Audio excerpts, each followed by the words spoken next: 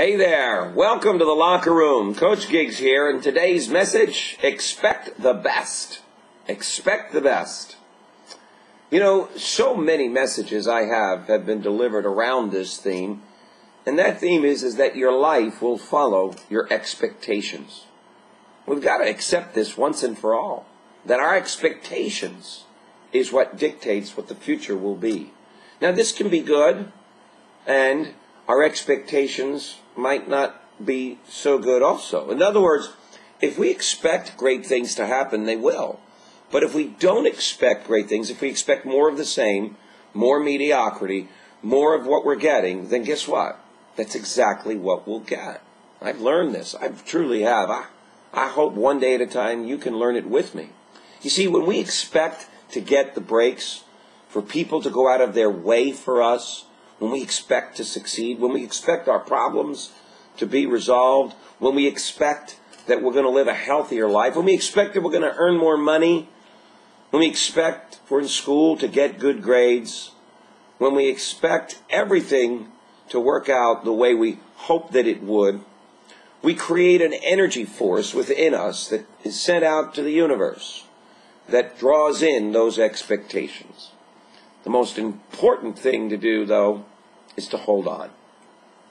Expect the best, and then hold on. Don't allow what you see in your present situation to discourage you.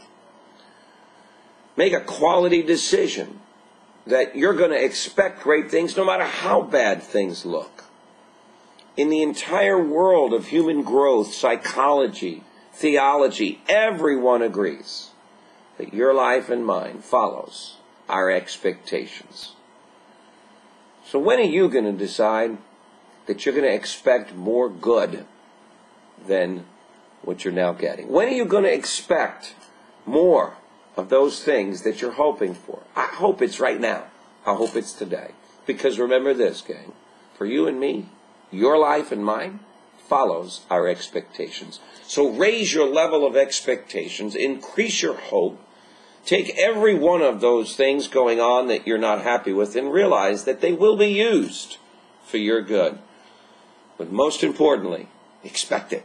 Expect good things. Expect things to turn around. Expect to find that mate. Expect your grades to come up higher. Expect to be more productive. Expect to earn more.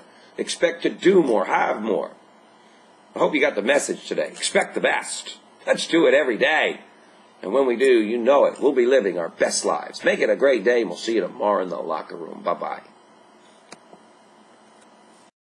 If you've enjoyed and feel that the Daily Locker Room has served as an inspiration in your life, why not take this moment and do the same for a friend by sending them the daily message? Click on the Tell a Friend tab, fill in their information, and help spread the inspiration.